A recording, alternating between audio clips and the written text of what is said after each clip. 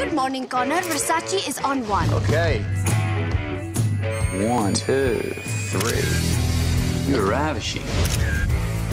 Kiki, Nadia, Charlize, it's not gonna work out for us. Tell me you're not breaking up with me on a conference call. Don't listen to these ladies. They are crazy. Connor, we can still hear you when you cover the camera, Oh. you know. I'm psyched you came. I didn't think you were gonna make the rehearsal. Yeah. Connor Mead. Jenny Perotti.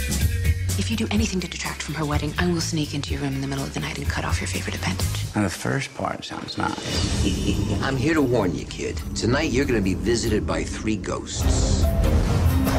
Uncle Wayne, you're dead. Whatever happens to you tonight is for your own good. Now we're talking. Hi, Connor. Who are you? Oh, I'm like the ghost of girlfriend's past. I tickles a little bit.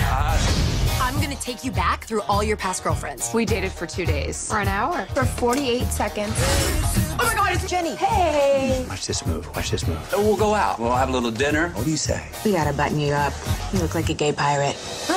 this is the moment you truly fell in love with Jenny.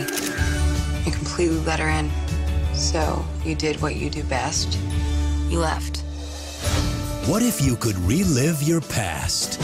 I'm sorry about us. How it played out. What if you could change the future?